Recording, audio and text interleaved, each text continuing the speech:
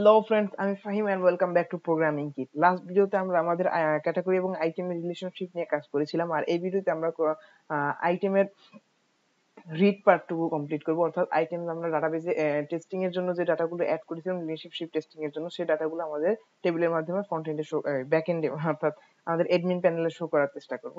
Okay let's শুরু করা যাক। ওকে প্রথমে যেটা আমি দেখে নিতে যাচ্ছি লাস্ট ভিডিওতে আমরা রিলেশনশিপ টেস্টিং এর সময় যে ডাটাগুলো অ্যাড করেছিলাম, অবশ্যই ডাটাগুলো মনে আছে আপনাদের। ডাটাগুলো অ্যাড করা আছে আর অবশ্যই এগুলো ডিলিট যদি করে থাকেন, তো অবশ্যই নিজের নিজের মতো করে ডাটাগুলো অ্যাড করে নেন। ওকে আমাদের এত মানে আইটেমের জন্য মডেল এবং মাইগ্রেশন ক্রিয়েট করা হয়েছিল লাস্ট ভিডিওতে আমরা কিন্তু কোনো কন্ট্রোলার ইউজ ক্রিয়েট করিনি। সো প্রথমে আমরা যেটা করতে হবে, আমাদের কন্ট্রোলার ক্রিয়েট করতে হবে। So PHP PHP artisan make controller আর কন্ট্রোলারটি যেটা আমাদের এডমিন ফোল্ডারের ভিতরে থাকবে। So admin item item item controller minus R কারণ আমরা রিসোর্স কন্ট্রোলার ইউজ করতেছি। কন্ট্রোলার সাকসেসফুলি ক্রিয়েট এবার আমি আমার পিএসপি স্টোন ওপেন করে নিচ্ছি। ওকে এরপর যদি আমরা অ্যাপ এসটিডিপি কন্ট্রোলার এডমিন এখানে এডমিন ফোল্ডারের ভিতরে আসি, তখন পাবেন এখানে এডমিন কন্ট্রোলার নামে নতুন একটি কন্ট্রোলার অ্যাড হয়েছে। সো এই অ্যাডমিন কন্ট্রোলারটা আমরা ইউজ করার জন্য যে রাউট ডিফাইন করব সো আমি আগের মতো আবারও একটি রিসোর্স রাউট ডিফাইন করতেছি সো আমি জাস্ট এর উপরেটা কপি করে নিচে বসিয়ে দিলাম। এরপর আমি এখানে ক্যাটাগরি বদলে যেটা দিব আমরা আইটেম আইটেম এবং এখানে ক্যাটাগরি কন্ট্রোলারের বদলে যেটা হবে item controller item controller okay এরপর আমাদের আইটেম কন্ট্রোলার ইন্ডেক্সে আমাদের আইটেম কন্ট্রোলার ইন্ডেক্স থেকে এখান থেকে আমাদের রিটার্ন করতে হবে ওকে আমাদের ইন্ডেক্স ফাংশন থেকে আমাদের আইটেম টেবিল মানে এখানে আমরা ক্যাটাগরি যেভাবে টেবিলের মাধ্যমে রিটার্ন করতেছি, তো এরকম একটা ভিউ লাগবে। সো আমাদের ব্লেড ফাইল ক্রিয়েট করতে হবে। সো ব্লেড ফাইল ক্রিয়েটের ক্ষেত্রে আমরা আগের বার যেরকম করেছিলাম ক্যাটাগরির জন্য আলাদা একটি ফোল্ডার ক্রিয়েট করেছিলাম এডমিন ফোল্ডার ভিতরে জাস্ট ভিউ এরপর এডমিন এরপর আমরা আবার একটি ডিরেক্টরি ক্রিয়েট করব, সেটি হচ্ছে আমাদের আইটেমের জন্য। সো আমি নাম দিচ্ছি আইটেম এবং আইটেমের ভিতরে ক্যাটাগরির ভিতরে যা যা থাকবে আইটেমের ভিতরে সেম জিনিসই মানে একটি ক্রিয়েট এডিট এবং ইন্ডেক্স ফাইল থাকবে। সো আমি তিনটি ফাইল জাস্ট কপি করে নিচ্ছি এখান থেকে, যাতে আমরা খুব দ্রুত কাজ করতে পারি। কপি এবং আইটেম ফোল্ডারে গিয়ে পেস্ট করে দিচ্ছি।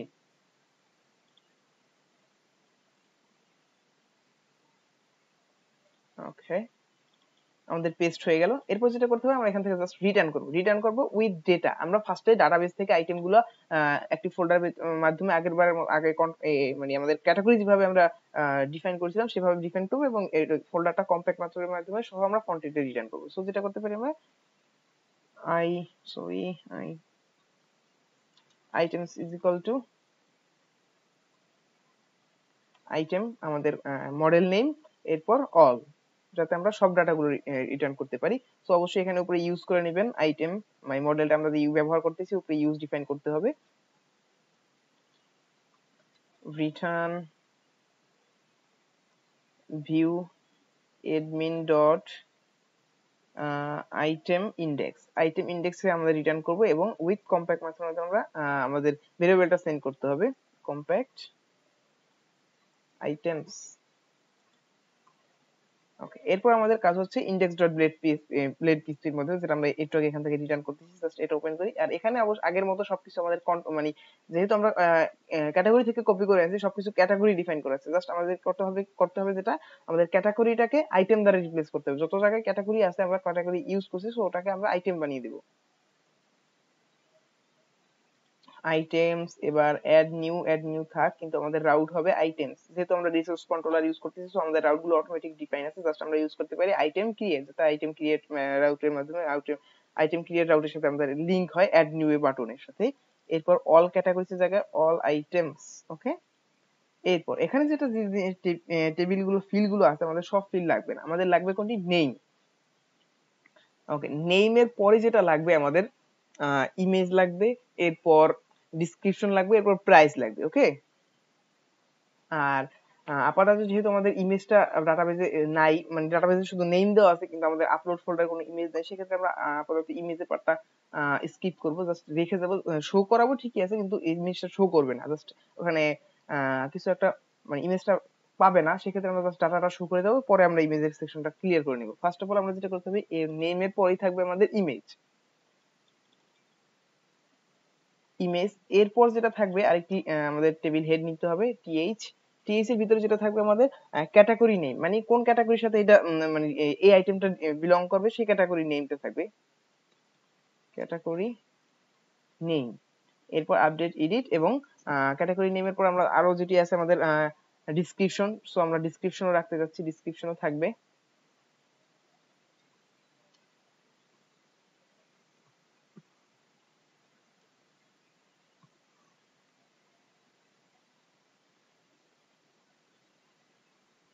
ওকে আমাদের ডিসক্রিপশনের পাশাপাশি আরেকটা যেটি থাকবে, আমাদের প্রাইস ফিল্টার রাখতে হবে যাতে আমরা প্রাইসটা দেখতে পারি সহজে।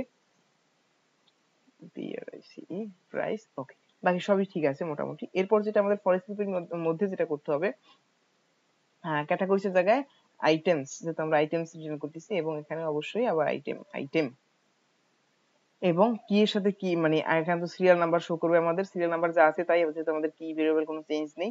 সো এরপর ক্যাটাগরি নেমের জায়গায় আমরা দিতে হবে আইটেম নেম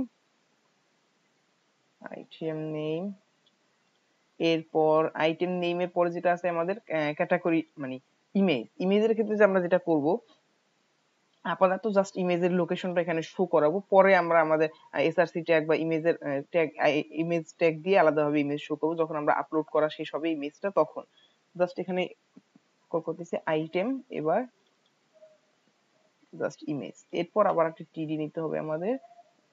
এরপর যেটা হবে, এটা এখানে দিব আমরা আমাদের মানে ক্যাটাগরি নেম এই আইটেমটা কোন ক্যাটাগরির সাথে? সেক্ষেত্রে আমরা যেটা করতে পারি, আমাদের ভেরিয়েবলটা ডিফাইন করতে পারি, যেটা আমাদের এখান থেকে পাচ্ছি ফর এর ভিতরে আইটেম এবং আইটেমের পর আমরা ফাংশন আমরা লাস্ট ভিডিওতে রিলেশনশিপ টেস্টিং এর সময় আমরা যে ফাংশনটা কল করেছিলাম, মনে আছে?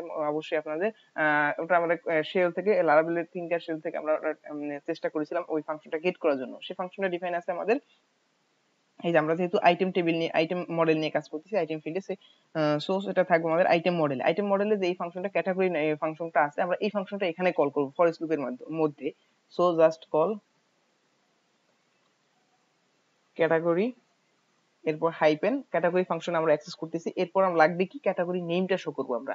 এই ক্যাটাগরি নেমটা শো করব সেজন্য আমরা ক্যাটাগরি নেম এখানে যদি ক্যাটাগরি আইডি শো করে দেন জাস্ট ক্যাটাগরি ফিল্ডে যে ফিল্ডগুলো আছে, ওগুলো দিলে এখানে শো করবে। স্ল্যাগ শো করলে জাস্ট এখানে আইডির জন্য আইডি দিলেই হবে এবং নাইমের জন্য নেম স্ল্যাগের জন্য যে ফিল্ডটা আপনি ক্যাটাগরির সাথে শো করতে চাচ্ছেন জাস্ট এখানে দিলেই হবে।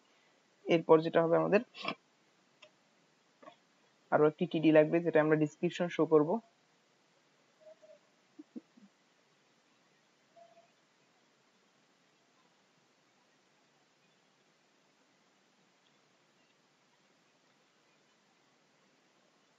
ওকে এরপর যেটি লাগবে আমাদের ডিসক্রিপশনের পর প্রাইস শো করতে হবে আমাদের just say P R I C price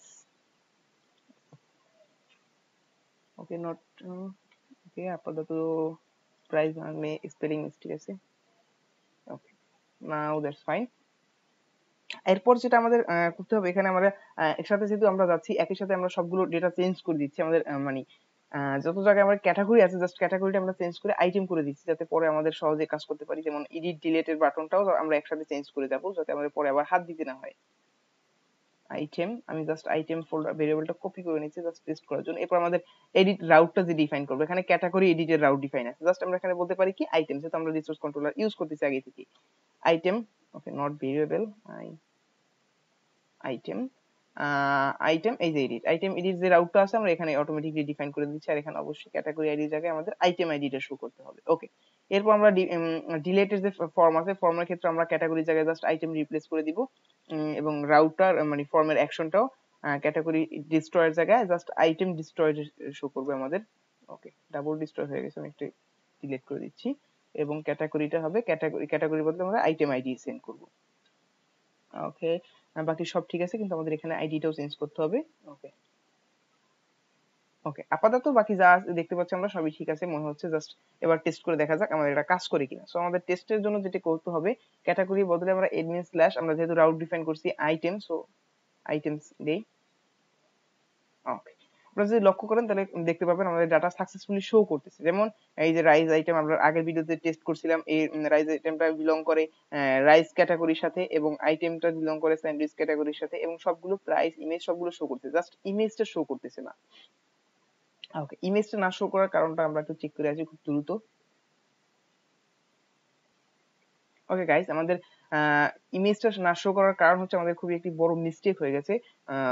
আমরা এখানে শো করতেছি কি মিস্টেকটা হচ্ছে। দেখেন আমাদের এখানে আইটেম টেবিলে যদি লক্ষ্য করি, আমরা দেখতে পাচ্ছি প্রাইস এবং পরে ইমেজের জায়গায় আমাদের স্পেলিং মিস্টেক আছে। জাস্ট ইমেজটা অন্য অন্য কিছু মানে স্পেলিংটা ঠিক নেই। এটা হয়েছে কারণ আমাদের মাইগ্রেশনে যে এডিটটা করেছিলাম এখানে অবশ্য আমাদের এখানে দেখতে পাচ্ছি আমাদের মাইগ্রেশনও একইভাবে আমাদের ইমেজ নেমটা ঠিক নেই।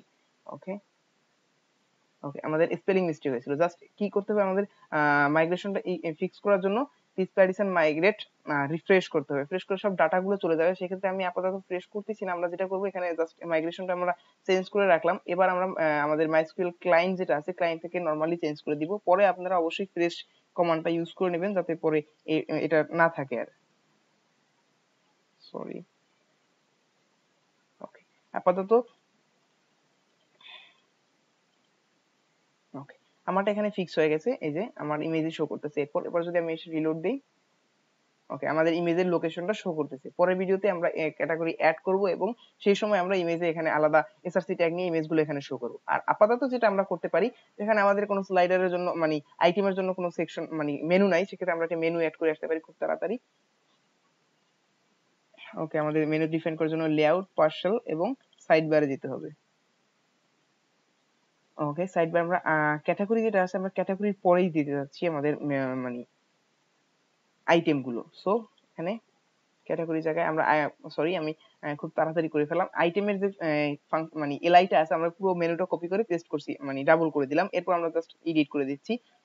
ক্যাটাগরি জায়গায় আইটেম করে দিলাম এবং এখানে ক্যাটাগরি জায়গায় আবারও আইটেম করে দিলাম। ওকে এবার এখানে ক্যাটাগরিজের বদলে জাস্ট আইটেমস